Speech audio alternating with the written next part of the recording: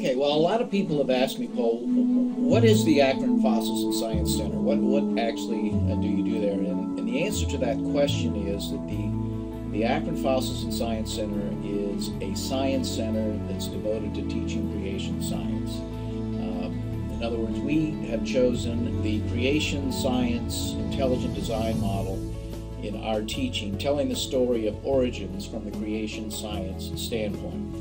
The evolutionary model has a different approach, and we do compare the two of them, but our whole emphasis is that creation science is for real, and we have devoted our museum to trying to in, to try to organize that in such a way that we tell that story.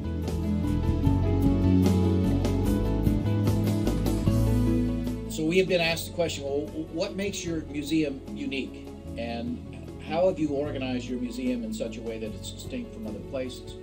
What we've done is we've organized a museum in such a way that we actually look at the science that supports the creation model. Now we compare the two models, the evolutionary model and the creation model.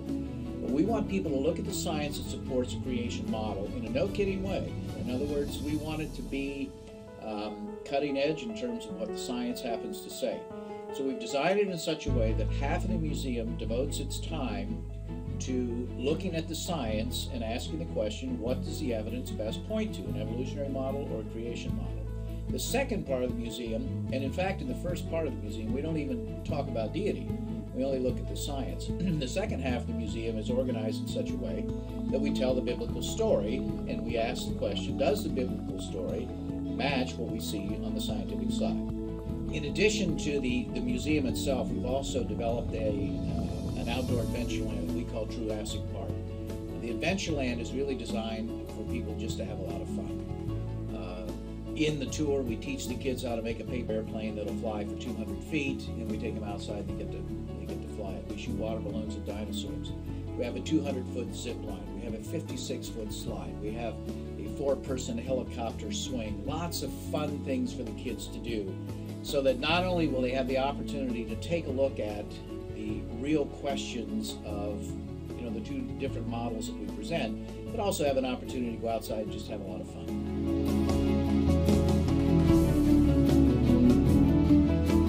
In addition to the museum and the outdoor adventure lane, we also have some very interesting programs that we offer. Uh, one of our favorite programs is Museum in a Backpack, where we actually come out and speak to your group and uh, share with you some of the messages that we uh, try to accomplish in the museum. That's been very popular because people can actually get a taste for the museum. We also have our summer camps program. Our summer camp is designed around a kind of a, a day camp and with uh, all kinds of fun things for the kids to do and, and discover and, and that kind of thing.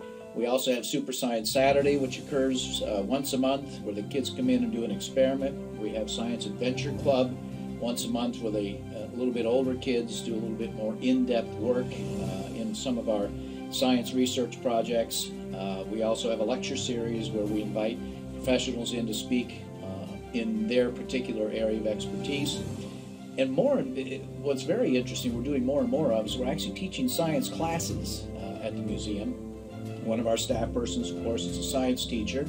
And in that process, we're, we're, we're able to offer people, particularly homeschoolers, the, the chance to, uh, to cover science in homeschooling, many times math and science are difficult. So we have the chance to plug a hole for them in that area with our staff science classes. And she's also responsible for our research project. We're doing a research science research project on the ditch, uh, the creek that runs along the property.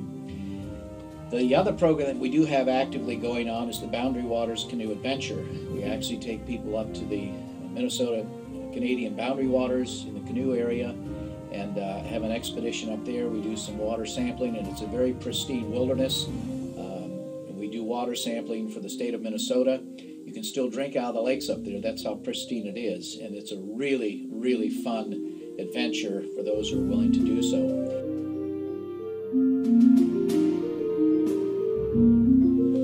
One of the questions is how can we be of service to you? How, how can we impact your particular group in a meaningful way? Um, we have done that in a variety of ways. I had mentioned earlier that we have our museum in a backpack. And that's an opportunity for us to come to your organization, whether it happens to be an adult group, um, a kids group, uh, or even a, uh, um, an organization that's trying to look at this whole issue of creation versus evolution, we can come out to your place and actually present, give you a taste, if you will